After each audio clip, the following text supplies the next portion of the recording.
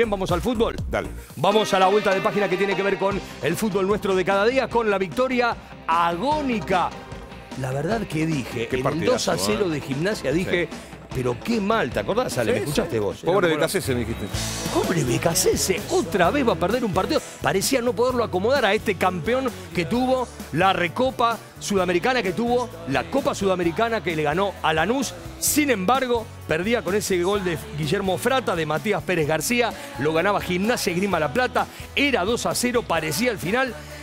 2 a 0, fíjate. 22 minutos del segundo tiempo. Nada, 25 minutos y se te terminó la historia. Tenés que meter tres goles que hizo defensa.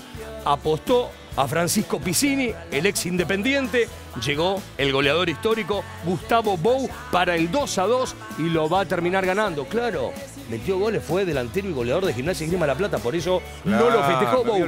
Era para un 2 a 2 y gritarlo, imagínate, Me después de ir acordaba de 2 su a 0. paso por Boca, pero no me acordaba de... Rodrigo Contreras, el hombre que abandonara San Lorenzo de Magro para vestir la camiseta de Defensa y Justicia. El grito agónico, 49-20, fíjate. Ganó Defensa tres puntos de oro, señores.